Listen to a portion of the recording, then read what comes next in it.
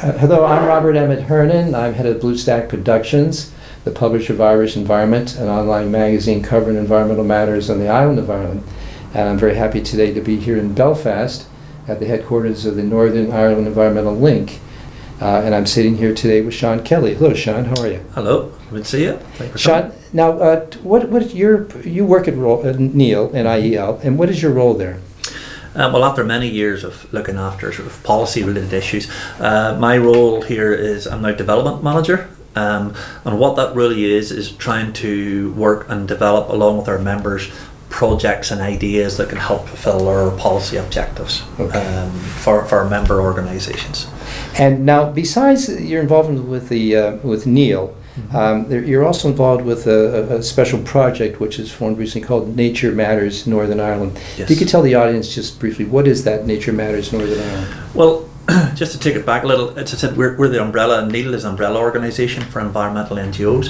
But then, with the arrival of uh, the decision of the UK to leave uh, Europe, the Brexit vote, um, we also set up a, a working group within NIEL called the NIEL Brexit Coalition, and it brings members all together to work on various uh, issues to do with Brexit. But because NIEL, uh, an organisation, is not by design public, uh, a public-facing organisation, hmm. we decided that it'd be quite good to set up a public-facing wing called Nature Matters, and that's basically just a way of informing the general public and other interested bodies about issues in relation to the environment and Brexit. So we just call that the Nature Matters NI campaign. Okay, and uh, within that Nature Matters campaign, is there an area which you focused on? There, there, there are a number of different areas. Uh, there are a number of different working groups, once again made up of members, and each different uh, working group has a lead. Um, there is a sustainable uh, land use group, focusing a lot obviously on agriculture. There's a fisheries and a marine group. There's a nature and environmental protection group, Mm. and then there is uh, an international advocacy or a cross-border group. That is the group that I that I lead on. That's Okay. the group that I the current and within that group, it's not just Northern Ireland Environment Link members, but also members of uh, Irish Env- uh, Pillar Environmental Pillar in the Republic of Ireland as well. So Okay. we, we deal with the cross-border issues. And that's what we'll be talking about today. And one of the core concepts within the cross-border uh, activities is, is the notion of the island of Ireland as a single biogeographic unit. Yes. That's a mouthful in a way, Yep. but give us a simple explanation of just what that means. Well, what we're basically saying is that the island of Ireland, as you say, is a single biogeographic unit. What does that mean? We share common landscapes, common habitats, species, common geology, common water uh, catchments, marine catchments, and stuff as well, and also, uh, as I said, flora and fauna. So, because we are an island, it therefore we're arguing that things in relation to the environment and all the things we've mentioned has to have this all island uh, dimension to it. Okay. All right. And now, uh, with Brexit, uh, let's talk a little bit about where there currently is cross-border uh, cooperation on environmental matters based on uh, EU legislation. W- Mhm. Just in a, in a broad sense, where does that happen?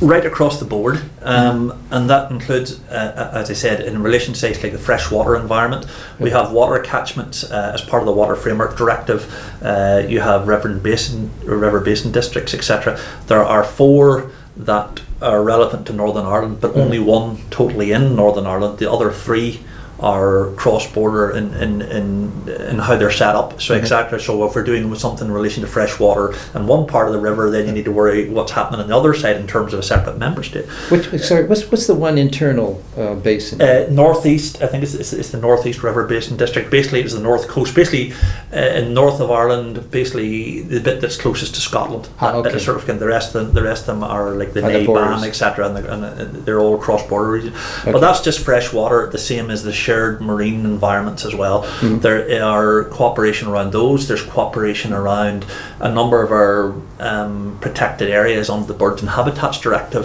Uh-huh. are cross-border sites, physically cross-border sites as well. There is a cooperation that goes on in relation to waste um, and to wildfires. Mhm. um, which has increasing become an increasing problem with climate change and, and other issues. Um, also, in relation to there's an all island uh, pollination plan or pollinator plan. Uh-huh. Um, there's also issues around, for example, um, air quality and energy. We have a single uh, energy market, north and south. Mhm. So basically, everything it encompasses just about everything to do with the environment. Now, what, what, uh, you mentioned waste. How is there, what's the cross-border uh, issues with regard to waste? Well, in in waste, there Is that the illegal waste dumping? There's both. There is both. There has been. Um, there is within member states, etc. You're allowed to have cross-border treatment of waste, and that is and that is something that currently takes place here. A lot of waste goes across the border in terms of recycling Uh-huh. uh, from the south into the north, and uh, I think vice versa as well. One of the issues that we've had is the movement of illegal waste. Mhm. Um, there have been, for example, I think just a few years ago, they found a massive site up by uh, up in the Derry Donegal border, really, but up in uh, Mobuoy Road up there, Mm. um, and the hundreds and thousands of tons of, uh, of illegal waste has been moved up. So there has to be that cooperation, both in Mhm. terms of the legal waste, but also the fact that some of it is uh, crime related. You know. Gang related, etc., etc. People Uh-huh. are trying to, to make money out of, out of regulation. I think a lot of that case, a lot, a lot of that uh, waste came from uh, Dublin um, Uh-huh. uh, originally, but there was there's other sites as well. It's just the, the Mobuoy site is referred to is is arguably one of the biggest in Europe in terms of, of in terms of problems with illegal waste. And, and they're actually, uh, if I recall, in some instances, they're repatriating the waste, right, from That- the north to the south or vice that- versa. That, that, that is correct. I mean, one of the issues, um, I, I mentioned the single biogeographic unit and how it makes sense. Uh-huh. One of the things that come out of the Good Friday Agreement Uh-huh. Uh, obviously, a, a political uh, agreement between the UK and Ireland, and also the heavy uh, influence as well of the European Union. But within that, they set up structures, cross-border structures, like Mhm. the Loughs agency, etc.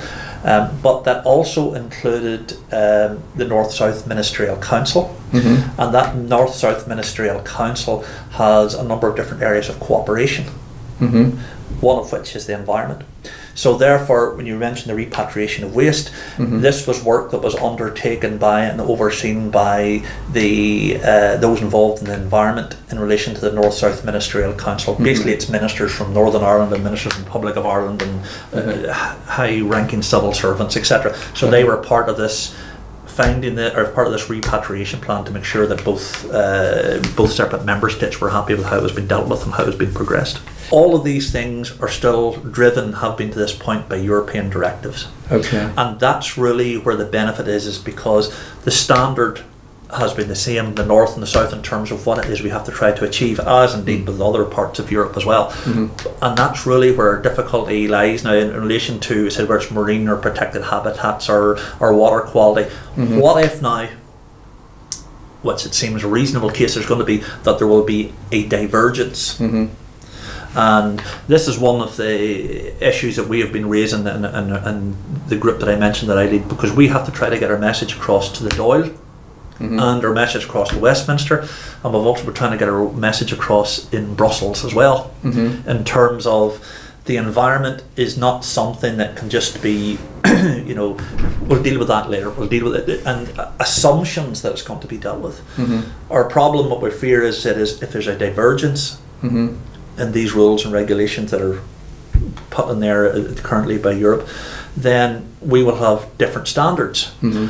And those standards could lead to, for example, maybe a lowering of the environmental standards to try to get an economic advantage. Right. Or how do I, if we're working different standards on different sides of the border, well, how do you achieve your standards if I'm working from different, considering, as I said, we've maybe got the shared waterway, or we've got the shared habitat, or we've got this protected species Uh-huh. you know how, do, how does that work so that, that that's something that we're very concerned about at the moment Now, now, Sean, well, uh, how does how does the cooperation on these cross-border aspects of, of protecting natural resources actually work? I mean, do the, do the is it minister to minister? Is it agency to agency? Is the are, what role does the N, NGOs uh, Yeah. such as NIEL and uh, the, the network in the South have? I mean, Yeah. th- you have an example that you could give with the audience of one of these cross-border projects? well i mean the first thing to say is it's sort of like at all levels. Um, Okay. Now, what I'm saying, is, for example, there was a lot of work was done by the departments in terms of invasive species strategy Mhm. or, or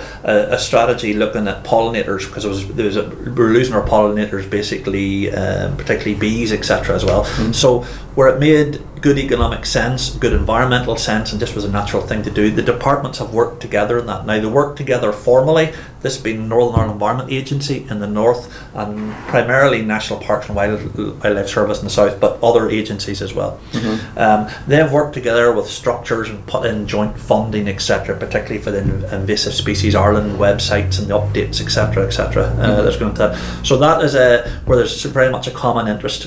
Um, now, on saying that, the other thing that has to be across, across a, a huge range of areas.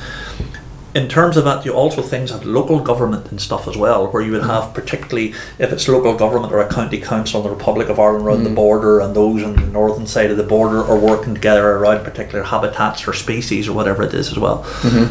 The same would basically go for the environmental NGOs as well. Mhm. I mean, one of the things we have is we have our um, structures within Northern Ireland Environment Link and our working groups, and they look at agriculture and planning, and they look at freshwater and marine, etc., etc. Mhm. Well, one of the things that uh, what we do is we try to match up as best we can uh, with our colleagues in the Republic of Ireland as well, because they're going to have interest groups that are looking at those as well in Mhm. terms of trying to work together in in in, in, uh, in common projects.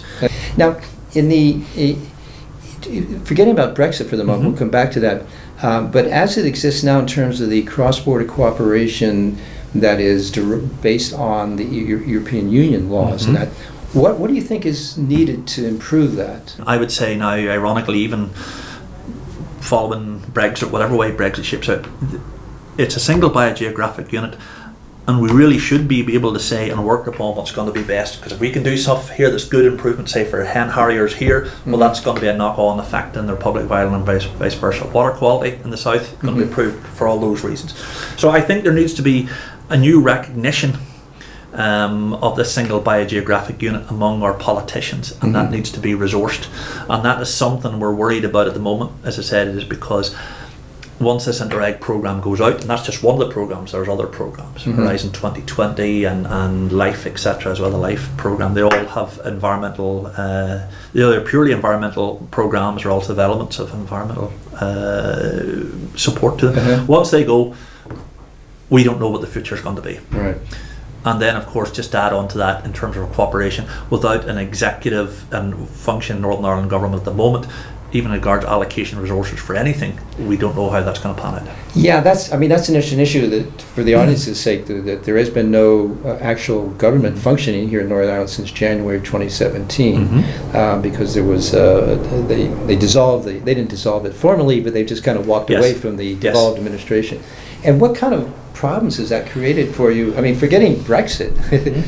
Uh, what kind of problems has that created for you uh, on Well- cross-border issues? Well, mean, I- I- if I just can briefly refer to come back to Brexit for a moment, simply because there's an overlap on them. But Uh-huh. one of the things about that is that so if you go for Brexit at the moment and what's happening and what the future deal is going to be about and what means this and what that means, etc. Mhm. One of the problems we have, of course, is we don't have any government input into that from Northern Ireland. So Mhm. if Westminster is talking to Scotland or talking to Wales or, or trying to talk to Northern Ireland and get their opinion from their ministers what they want, well in Northern Ireland we don't have that because we don't have any ministers. Mhm. So we have the problem. This leads on to the wider issue now in terms of. At the minute, it's our most senior senior civil servant. We have a permanent secretary within the Northern Ireland, it's the Department of Agriculture, Environment and Rural Affairs Mhm. and he has to go and try to give opinions and try to nudge things in certain directions but he can't do so with any degree of certainty Mhm. because he's not a political representative he's not allowed to take those decisions Mhm. so he goes as a senior civil servant here and sits with ministers elsewhere Mhm. and gives ideas and opinions but can't say this is what we want and this is Mhm. what we need Now, now, Sean, do you do you um, with the absence of a minister, do you find that you get uh, uh, more uh, accessible uh, relationships with the uh, with the uh, civil servants who are in charge of the departments now? I mean, has that opened up that door for you in a way or not? Well, I would say to some extent, yes, it has improved simply because we find ourselves in a situation that if it's to do with agriculture, environment, whatever it is, the department has to ask people, "Wh- what do you think? Right. And, you know, um, and, and they're good at actually having very good, very good uh, framework so far for trying to get the structures in place to try to mean that it can have an informed opinion. hmm Um, and that is something that, you know, th- that's something that they've been good at, but they only can take it so far. Now, um, uh, one of the things that we haven't touched on yet, but I think would be worth exploring a little bit, and that is that uh, is there any particular aspect of cross-border issues in terms of the enforcement uh, under the EU laws? I mean, what what enforcement uh, powers are there under EU law to deal with cross-border projects or problems? Well, the, the thing about it is, in, in terms of, even in terms of regulation and then enforcement, but before, as I said, we had this common European framework, which meant, well, they're the standards. You know what you have to do. Mhm. You know how you have to improve water quality. You know what you have to have a, a, a- list of uh, damaging invasive species and action plans to stop it. So we knew we knew they were there. Mhm. And one of the main uh, ways to appeal if something wasn't being done in terms of a directive or whatever, a European directive, was the European Court of Justice. Mhm. And you can complain to the European Court of Justice. Anyone can do in any member state if they say, look, these are the rules and a member state or my government or whatever is not following those or they're breaking those or they're not designating these areas or they're not protecting, they're not enforcing or whatever. Mhm. And if that was the case, you took that case to the European Court of Justice. And the European Court of Justice, it's quite a long process, I admit, but it can result in fines that are hundreds of thousands of pounds per day Mhm. if you're found to be in breach. You know, now they give you written warning and it's a long procedure, it's not just like starting from the day. And then they continue to fine you until the position has been remedied Mhm. which could take a while. Um, but the problem we have now in terms of enforcement is is that well, once again, if we leave Europe, then we're leaving that structure behind us as well in terms of who do you um, Mhm. complain to. Right. Now, Northern Ireland is, I think, along with Greece, is the only part of Europe that doesn't have an independent environmental protection agency. Mhm. So when I mentioned Northern Ireland Environment Agency before, they are a government agency that sits within a government department. Um, so part of our problem is in in terms of Northern Ireland, we're thinking is well, look, if we don't have an independent environmental protection agency, Mhm. and we don't have the European Court of Justice, we don't have Europe to go to to say, hold on, we Mhm. think there's a breach here or something's not been done. Uh-huh. Where, what do we do? Where do we go? Mhm. And at the moment, we don't have an answer to that. That one, yeah. Now, uh, Sean, let me ask you, in terms of the, the enforcement uh, on a cross-border, but has there ever been enforcement action taken in Northern Ireland with regard to a cross-border I- project or problem? As I said before, there's a lot of stuff that's going on as regards waste, um, Uh-huh. where the countries have decided, you know, like this has to be sorted out through the North South Ministerial Council. They've agreed there's priorities and how they're going to deal with it and who's Uh-huh, going to pay okay. for repatriation and where the costs are going to come from. So that sort of enforcement Right, uh, has been there. course, of course. But part of me would still argue that maybe a lot of that enforcement is that they have done that because if you fail to do so, you could be in breach of European Right. uh, directives. Right. That's you the know what I hammer. mean? So That's that, the that, that, that's the thing at the back. So well, this has been brought to our attention. There's a real problem here. This is how we'll deal with this. You do this. You do that. You know, Right. that, I think that tends to be how, how it's done. Now, are, I, I'm- I suppose maybe to end it, although it's a dangerous thing to do, uh, are you optimistic about anything coming out of Brexit in terms of uh, better protections for Northern Ireland? I mean, they, there, there is the suggestion by some people that Brexit is an opportunity Mm-hmm. to enhance it, but, but many, I think, of us would probably believe there's much more dangers Mm-hmm. of vested interests chipping away at those things. And There may be opportunities. And an opportunity itself could be that if, if CAP wasn't performing well for Mhm. the environment, there may be an opportunity to replace it with something better. uh But if you don't have an idea of what that framework will be, what that structure will be, Mhm. what you have to do to get that agricultural money, the levels of it, and what the environmental aspects are going to be, Mhm. then it's very difficult to be optimistic Mhm. or positive about something until you said, Mhm. okay, well, let's have your. If I had a wee bit more detail on what the plan was meant to be. Now, Northern Ireland, in terms of environmental governance, Uh, uh, and in terms of uh, its care for the environment ha- has been very, very, very poor Mhm. for decades, it has been uh, none of the political parties, uh, none of the bigger political parties have actually took it and run it. I said, I think the environment is often seen to be something that's there to be exploited, Mhm. exploited in terms of using its resources or whatever, or something to build houses on or whatever. Mhm. Um, so, and if it remains a devolved matter, which I think it should do, but if it remains a devolved matter, um, well then, where's the indication that these people and our political leaders will have a brighter, better Right. vision? Right. The most we can say, given the uncertainties about Brexit, the uncertainties about when there's going to be government, is you keep your fingers crossed, but keep your feet busy. We, we will see. It, it, it seems Yeah. to change day and daily, and Yeah. I think we're all sort of in that position, no matter what level of Northern society. And so we're we're doing our best to make it as a green a Brexit as possible. That's great, great. Sean, thanks for talking with us. Thank you very much indeed.